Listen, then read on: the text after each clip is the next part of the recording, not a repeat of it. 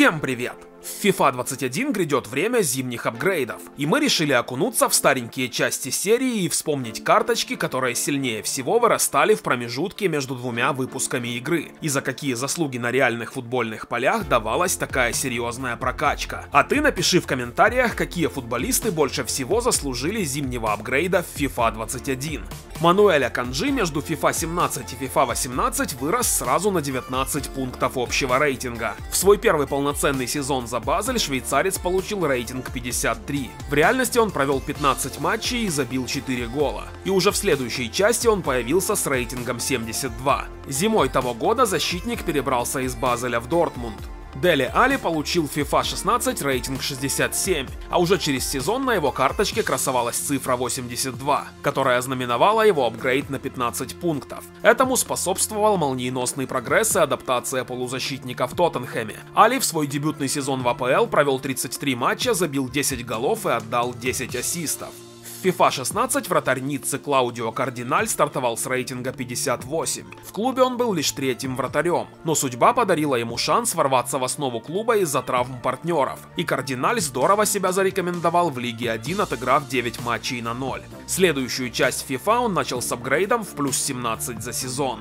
В FIFA 16 Андреас Кристенсен перешел в двухлетнюю аренду в Боруссию Мюнхенгладбах из Челси, и на его карточке красовался рейтинг 63. В следующей части игры защитник вырос на 15 пунктов. Этому способствовал сезон, проведенный в основе Гладбаха. Датчанин наиграл 31 матч и забил 3 гола. В год выхода FIFA 16 Махмуд Дауд готовился начать свой первый полноценный сезон в составе Гладбахской Боруссии. В FIFA ему выдали рейтинг 60. И в том сезоне парень провел в Бундеслиге 32 матча, в которых забил 5 голов и отдал 9 ассистов. На старте новой части его рейтинг увеличился на 19 пунктов.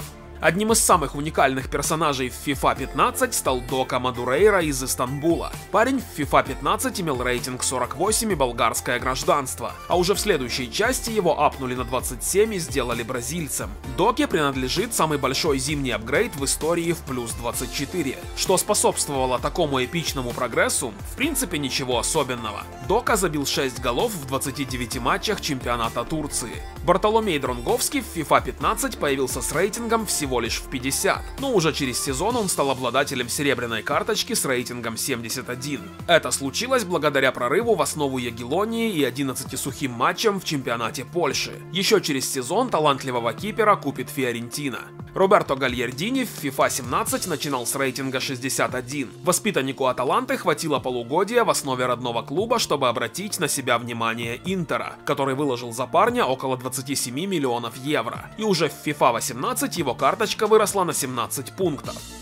В FIFA 17 совсем молодой Кай Хаверс начинал сезон с рейтингом 57. Он молниеносно ворвался в основу Ливеркузена, отыграл 24 матча, в которых забил 4 гола и отдал 6 ассистов. И в FIFA 18 его рейтинг вырос на 16 пунктов. Не раскрывшийся вундеркинд из Челси Чарли Мусонда стартовал в FIFA 16 с рейтинга 60. Затем в реальности он отправился в аренду в Бетис, где ему удалось неплохо себя проявить. И после 16 матчей в Ла Лиге новый сезон он начал с золотой карточкой и рейтингом 77.